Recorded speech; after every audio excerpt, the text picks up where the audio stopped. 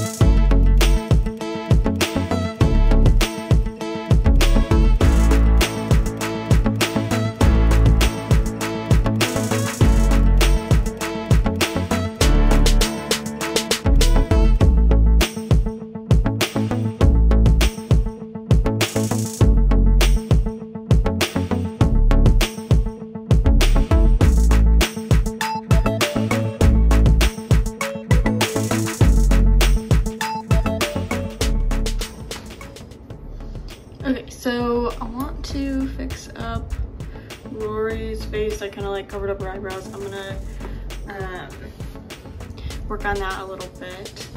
So I'm thinking basically her forehead is a little bit too big. Um, and I want to maybe like move her eyebrows up a little bit, see how that looks, and then potentially like move her eyes up too.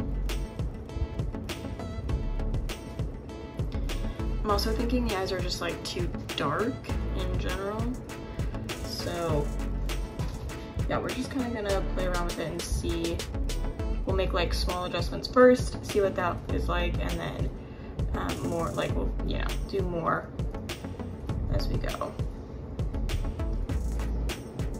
Yeah, it's like pretty good. I think I'm just gonna move her up.